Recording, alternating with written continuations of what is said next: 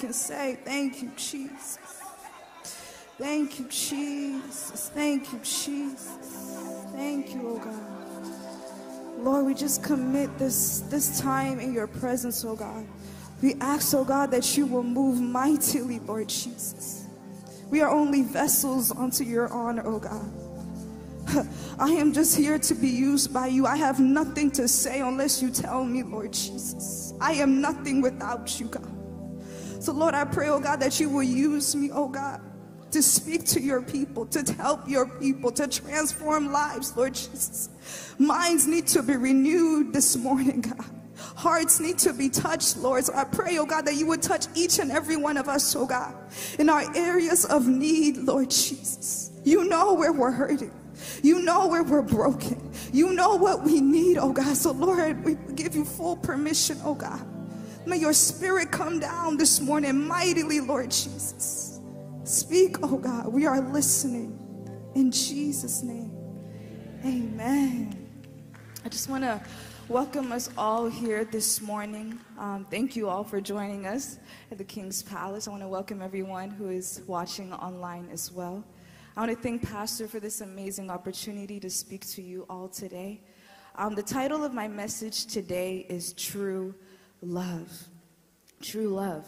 And our text is from 1 Corinthians 13, verses 1 to 8. It says, If I could speak all the languages of earth and of angels, but didn't love others, I would only be a noisy gong or a clanging cymbal. If I had the gift of prophecy and if I understood all of God's secrets plans and possessed all the knowledge, and if I had such faith that I could move mountains, but I did not love others, I would be nothing.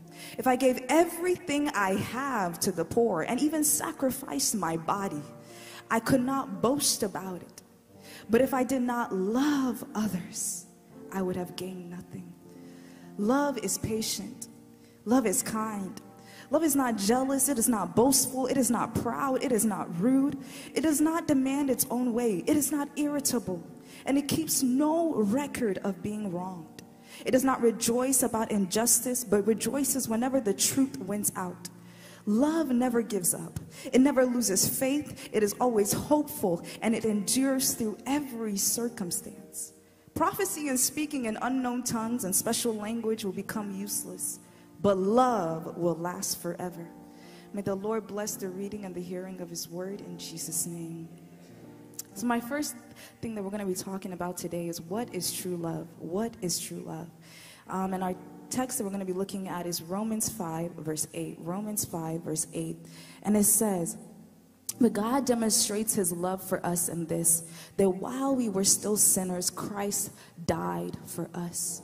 This means that even when we were mocking God, even when we turned our back on Him, even when we were not living for Him, doing things that pleased our flesh, Christ still died on that cross for us. We don't deserve His love, but yet He still died for us.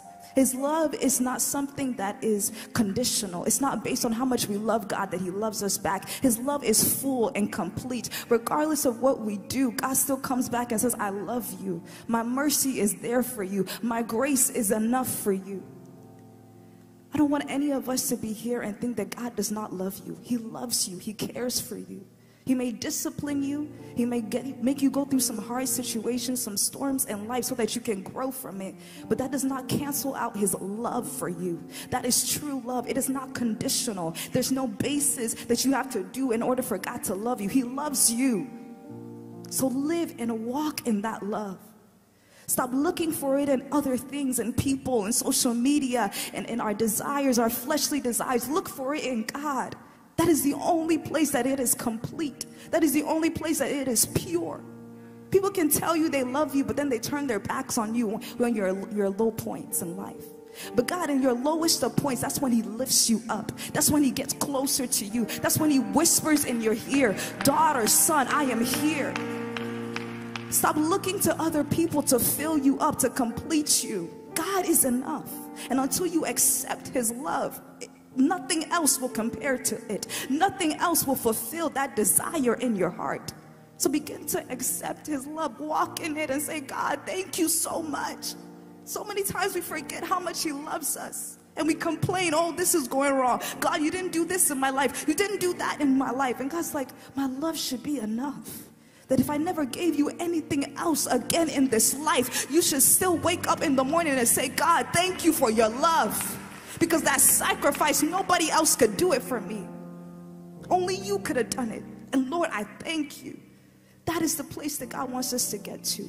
To understand that His love is true, it is pure, there is no fakeness in it. My next thing is that true love is not a performance. Our text is from Matthew 6, verses 1 to 4. It says, Watch out. Don't do your good deeds publicly to be admired by others, for you will lose the reward from your Father in heaven.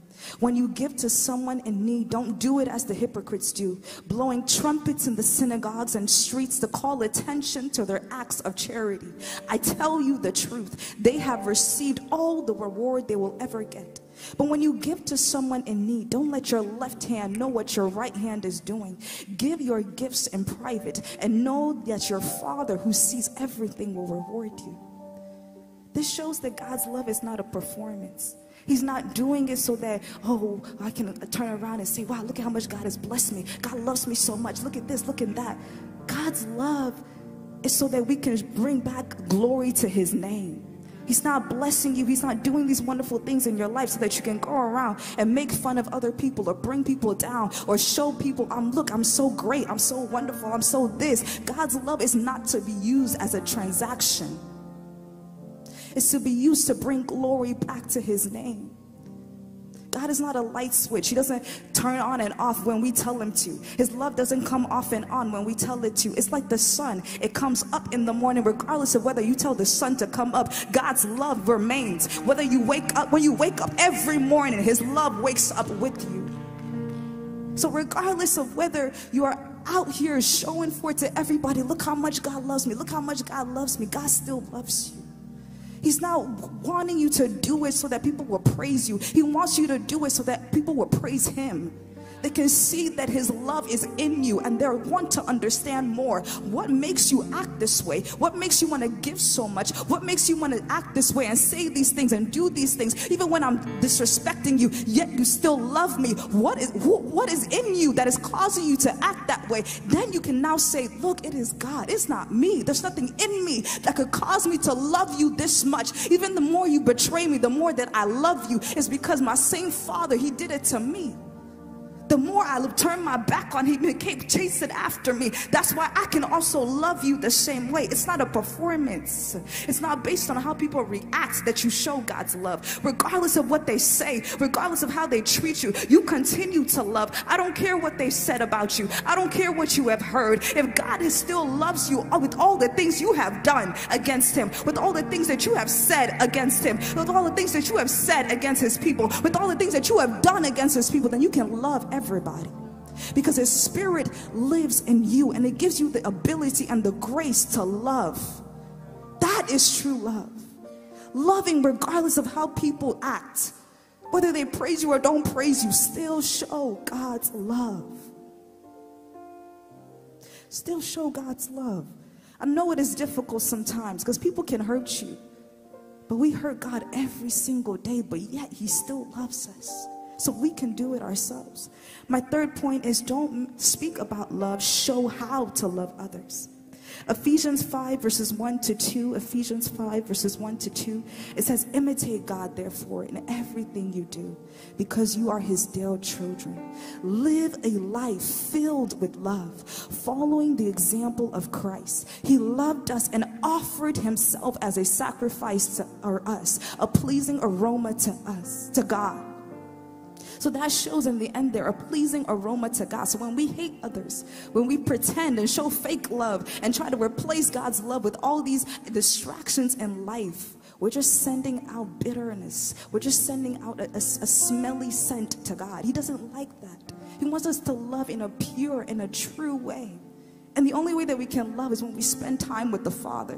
When we are filled with His love, we can then love other people. You cannot expect to pour out what is not in you. You cannot expect to love others when you don't even spend time with God Himself, who is the definition of love. So if you want to know how to love others, first spend time in God's presence, spend time with the source, and then you will have the grace, the strength to love people that you never thought you would be able to love. Our next text is from Colossians 3, verses 12 to 14. It says, Since God chose you to be holy people he loves, you must clothe yourself with tender-hearted mercy, kindness, humility, gentleness, and patience. Make allowance for each other's faults. Forgive anyone who offends you. Remember, the Lord forgave you, so you must forgive others. Above all, clothe yourself with love, which binds us all together in perfect harmony. Clothing Every day you wake up in the morning and you put on your clothes. It's the same way you got to put on kindness, mercy, humility, gentleness, all of those things on a daily basis. You will not go out of your house naked. The same way you should not go out of your house without mercy on you, without kindness on you, without humility on you, without gentleness on you, without God's patience on you. And the only way that you can put those things on is spending time with the Father. It's not learning from, social media. It's not getting a boyfriend or a girlfriend. It's spending time with your father who sent his only begotten son to die on the cross for your sins when you didn't deserve it. You did nothing to earn it. So you can't spend a few minutes in the morning, a few minutes in the evening, a few minutes throughout your day to thank this God. And you expect to know how to love others. You expect to know how to be kind, to be gentle, to be humble. It's not going to happen. Spend time with the source, and you'll see that He will make it easy for you to love people and love others in a true and a pure way. And lastly, we're just going to talk about why we love because Christ died for us. So, how can I experience this love? Maybe you haven't even given your life to Christ. Maybe you don't even understand or have experienced or, or been to understand his love for you. And God is saying today, I'm ready, daughter, son, I'm ready to, to, to, to, to take you in, to clothe you with my love, to teach you how to love others. Maybe you have so much bitterness in your heart and you're struggling and you're saying, God, I don't know how I can ever get out of this. How can I ever get out of this bitterness? This person has hurt me so badly. How can I ever love them? And God's saying the first step is to give your life to Christ. Submit to me, accept my love, and then my love will pour out for you to give to others. You know, in John 3:16 it says, For God so loved the world that he gave his only son, that whoever believes in him shall not perish but have eternal life. It starts by believing in him. It starts by accepting his love. So I want us all to get up right now. I want you to bow your heads bow your heads if you're here this morning and if you've not experienced God's love by accepting it and submitting yourself to Him, I want to give you this amazing opportunity. He's here right now. He's saying, Daughter, son, no more do you have to run away. No more do you have to look for a replacement, a substitution to my love. My love is here right now, and I'm ready to give it to you. All I'm asking is that you would raise your hand right now raise your hand and tell the Lord, Lord, I know that I'm a sinner. And I ask for your forgiveness. I believe you showed your true love by sending your son to die on the sins, um, die on the cross for my sins. And you rose again from the dead.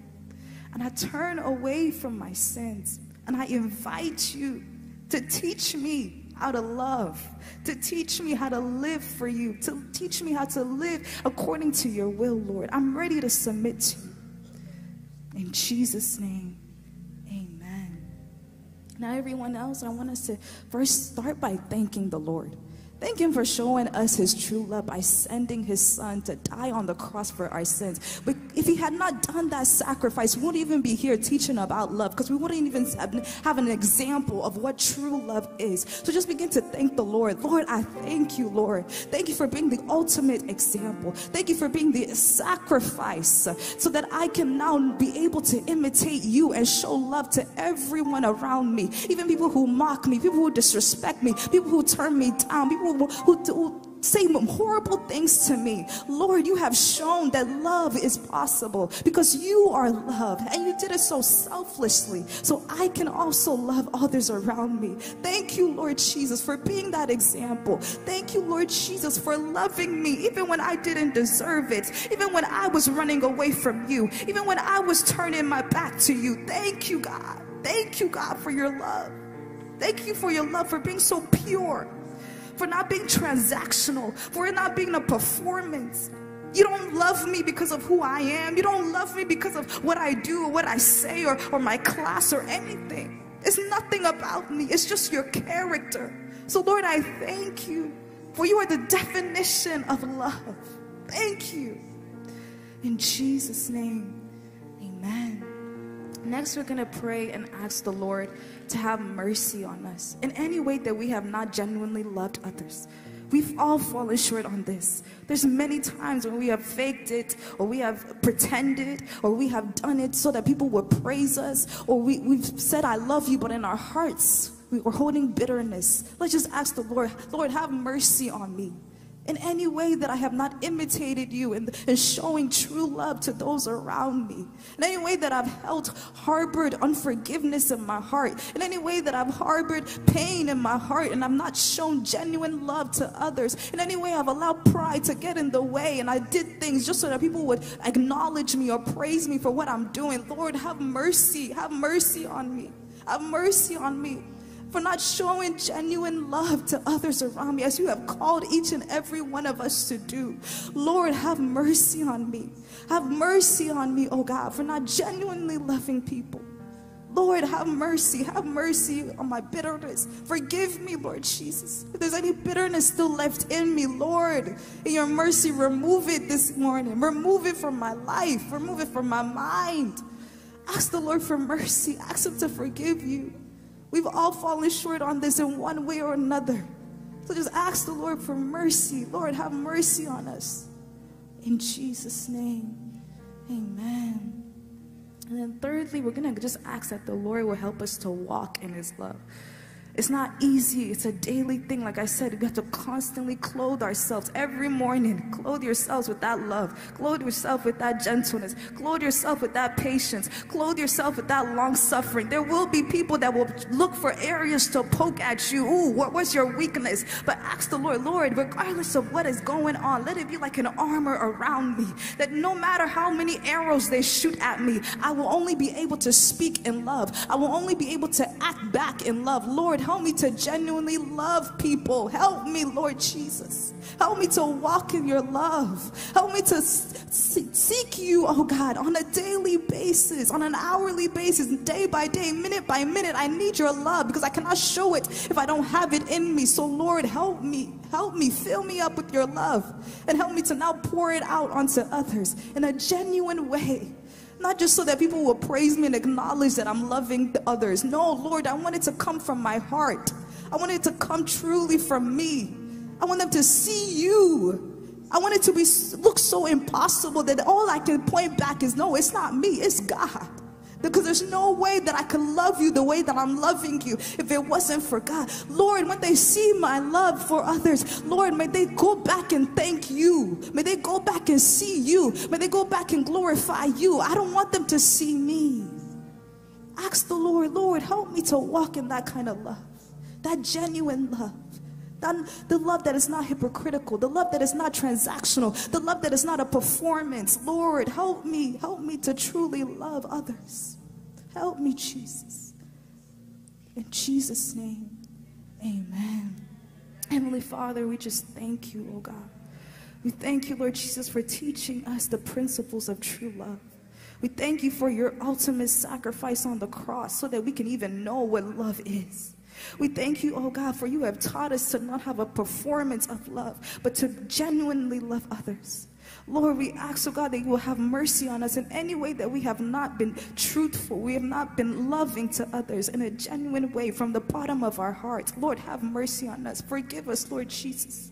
And Lord, we ask, oh God, that you will help us to genuinely go out and love people. If there's anybody that we're harboring unforgiveness, pain against, Lord, today that, that is coming off of us. And we're clothing ourselves back with your love. We're clothing ourselves back with your gentleness, your patience, your kindness, Lord Jesus. And Lord, help us to continuously on a daily basis walk in that love and be that love. So that when people see us, they see you. In Jesus' name, amen. Thank you.